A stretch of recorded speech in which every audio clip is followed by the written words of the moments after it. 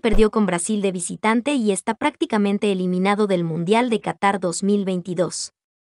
El conjunto chileno se jugaba la clasificación el día de hoy contra Brasil y perdió por goleada 4 a 0, con goles de Neymar, Vinicius, Coutinho y Richarlison.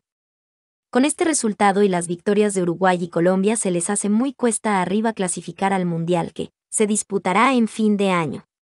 Con este sería el segundo Mundial consecutivo al que no iría Chile con Vidal, Alexis Sánchez, Gary Medel, Claudio Bravo, y tantos buenos jugadores que salieron bicampeones de América, pero que hace varios años vienen en declive en cuanto a resultados con su selección.